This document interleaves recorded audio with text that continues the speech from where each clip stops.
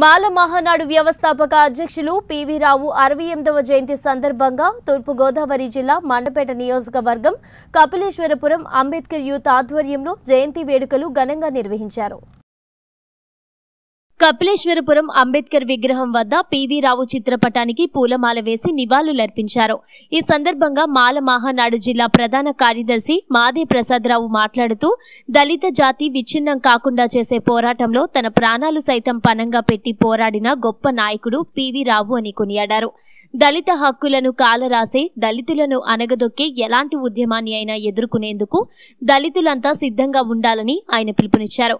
కార్యక్రమంలో మాల మహానాడు నాయకులు సాకా శ్రీనివాస్ పాలంగి కృష్ణకిషోర్ దాసి రాంజీ అంబేద్కర్ మాసబత్తుల నాని గంటా రాంప్రసాద్ పెట్ట సతీష్ జువ్వల ఆనంద్ సుంకర నాగూర్ తదితరులు పాల్గొన్నారు.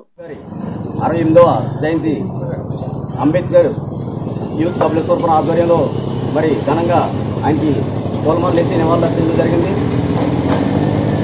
మరి ఈరోజు బాబా డాక్టర్ బాబాసాహెబ్ అంబేద్కర్ తన ప్రజల కోసం ఏదైతే చేశాడో ఆయన ఏదైతే ఆశించాడో దళిత బహుజనులు ఎడ్యుకేట్ అయ్యి రాజ్యాధికారం దిశగా పయనించి రాజ్యాధికారం చేయాలని ఆయన కన్న కళలు కళలను కొంతమంది రాజకీయ నాయకులు దళిత బహుజనులు కాకుండా దళితుల మధ్య వర్గీకరణ అనే పేరు అనే తగాదా పెట్టి వీళ్ళని విడదీసి వాళ్ళ లబ్ధి పొందాలి వీళ్ళ ఐక్యత చెడగొట్టాలి వీళ్ళ ఐక్యతగా ఉంటే మన మనుగడ అసాధ్యం అని చెప్పి దళిత వర్గీకరణ పేరుతో ఒక మందకృష్ణ మాదిగని కోమగా వాడుకొని వర్గీకరణ చేస్తే దానికి అన్ని రాజకీయ పార్టీలు కూడా సపోర్ట్ చేసిన తరుణంలో నిజమైన అంబేద్కర్ వారసుడిగా పివి రావు గారు మాల జాతి అదే దళితుల ఐక్యతను తన భుజ స్కంధాల మీద వేసుకొని తన ఉద్యోగాన్ని వదిలి దళితుల ఐక్యత సాధించి సుప్రీంకోర్టులో దళితుల ఐక్యత సాధించి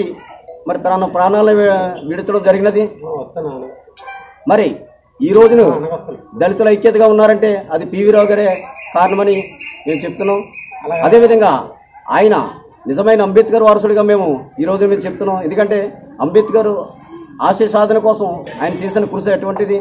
దళితులు రాజ్యాంగం చేయాలనే ఉద్దేశంతోనే ఆయన మాల మహానాడును స్థాపించి దళితుల ఐక్యత కోసం అహర్నిశలు కష్టపడి సుప్రీంకోర్టులో కేసు నెక్కడం జరిగింది. మరి అలాంటి మహాను మహానుభావుని గుర్తు చేసుకుంటూ ఈరోజు అంబేద్కర్ యూత్ ఏర్పాటు చేసిన కార్యక్రమం చాలా గొప్ప విషయం అని మేము అందరం చెప్తున్నాం.